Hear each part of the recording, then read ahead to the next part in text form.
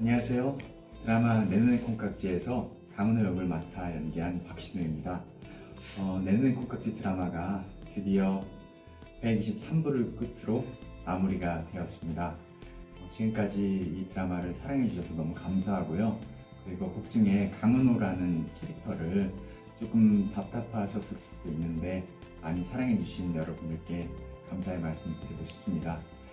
어, 드라마는 끝났지만 저의 인생에서 앞으로 연기는 아직 출발 단계이기 때문에요.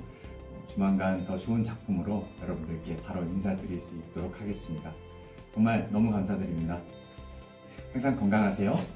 안녕.